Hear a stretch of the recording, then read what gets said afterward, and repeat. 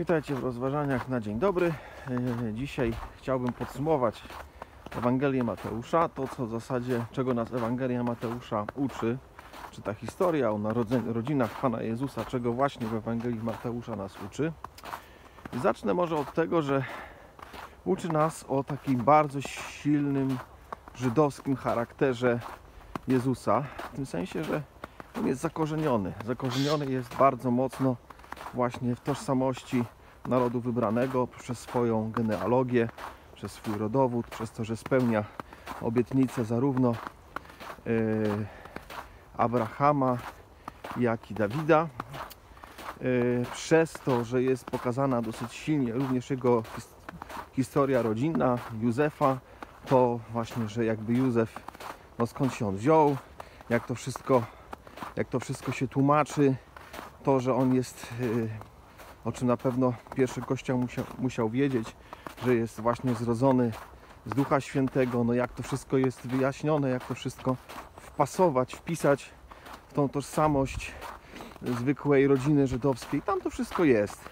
Tam to wszystko się pojawia, zarówno cudowność z aniołem, jak i realność z Józefem, który się zastanawia, roztrząsa te kwestie, ale przyjmuje, jest posłuszny woli Bożej. E, Tak samo kwestia samego zrodzenia e, z Marii też się pojawia, o czym mówiłem w rodowodach. Te wszystkie dziwne kobiety, wyjątkowe kobiety wiary, a jednocześnie kobiety bardzo zaskakujące to potwierdzają. A więc to jest jakby pierwsza część. Druga część to jest kwestia właśnie tego, że, yy, że, yy, że wchodzą narody. Że te narody ewidentnie się tam pojawiają i zwróćcie uwagę, pojawiają się jakby na dwa sposoby. To znaczy, po pierwsze, pojawiają się na tej zasadzie, że są po prostu yy, spełnieniem proroctw, że jakby yy, coś wiedzą i że myślę, jakiś tam Żyd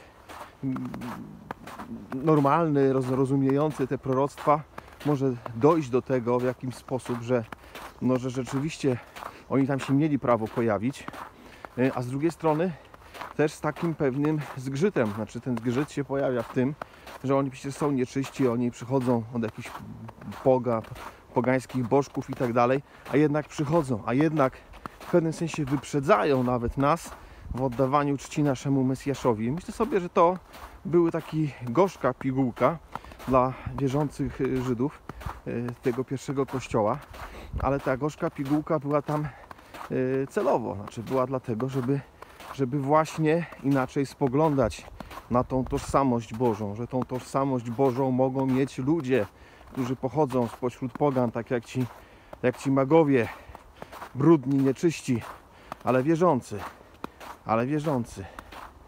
Yy, Wierzący może nawet bardziej niż my, my etniczni Żydzi.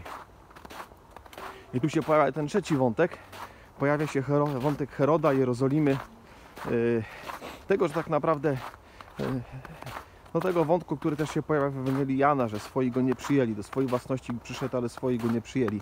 I tu się to też ewidentnie pojawia i mamy y, to właśnie w, w reakcji Heroda, mamy to w reakcji uczonych w piśmie, którzy tak naprawdę wiedzą, ale nic z tą wiedzą nie robią, nie reagują wiarą. Mamy w spisku Heroda, który bardziej się boi o te doczesne kwestie niż tak naprawdę y, o to, żeby odpowiedzieć w właściwy sposób na przyjście Mesjasza, no, który jest zapowiedziany. Yy, A więc jakby patrząc w takiej perspektywie tych pierwotnych odbiorców, to myślę, że właśnie tą oczekiwaną reakcją jest, ja bym powiedział, yy, w perspektywie, myślę tego, że no, ewangelista Mateusz i apostoł Mateusz jednak myślę, że był w zborze żydowskim w większości. Oczywiście tam się mogli jacyś poganie pojawić, ale myślę, że on przede wszystkim był jednak e, jakby w żydowskim e, zborze etnicznie.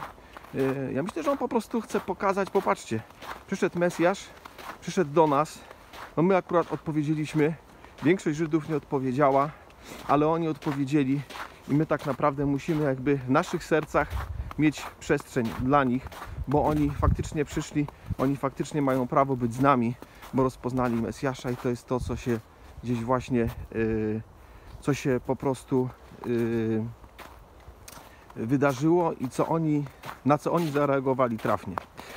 Y, Natomiast druga rzecz, no to jest pytanie o nas dzisiaj. Co my mamy dzisiaj z tym zrobić? My, którzy pewnie nie jesteśmy w tym samym kontekście, nie jesteśmy Żydami etnicznymi w pierwszym wieku czego nas ma dzisiaj ta historia uczyć? Myślę, po pierwsze, jeśli jesteś z pogan, a nie jesteś z etnicznych y, Żydów, to macie nauczyć tego, że jesteś mile widziany w kościele. Że tak jak ci mędrcy, tak jak ci ludzie y, znikąd, ty też możesz być znikąd, ty też możesz być człowiekiem, który może nawet w ogóle nie jest religijny, może z, religijnej rodziny nie pochodzi, y, ale jest miejsce dla ciebie u Jezusa Chrystusa. Dlatego, że On jest tym Jozułem, który wprowadza swój naród y, do nowej ziemi obiecanej przez od, odpuszczenie grzechów. A więc chodzi o uwolnienie od grzechów i wejście do nowej przestrzeni, przestrzeni Bożej, która gdzieś tam się ostatecznie dopiero y, w przyszłości y, ujawni, bo do końca nie wiemy, jak to, jak to wszystko będzie działać.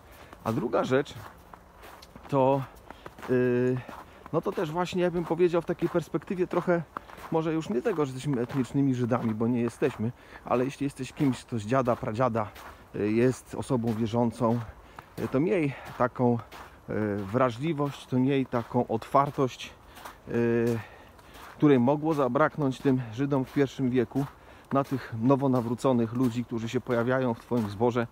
Może nie są tak mądrzy, może nie są tak y, rozważni, ale to wcale nie oznacza, że w związku z tym nie, y, nie powinno być dla nich miejsca. Tutaj się minęliśmy troszkę, jakąś panią, która sobie szła obok.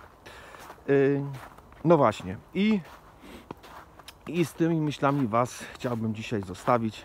Niech Was Bóg błogosławi i niech to przeżywanie tych świąt i przyjścia Pana Jezusa będzie dla nas radością, ale będzie dla nas również i lekcją e, otwartości na siebie nawzajem. E, niech w tym wszystkim Bóg nam błogosławi i niech nas strzeże. Panie, bądź uwielbiony, bądź wywyższony, zachowuj nas, Panie, e, właśnie w radości i w pokoju i w jedności, dzięki temu, że Ty przyszedłeś. Z Bogiem i do zobaczenia.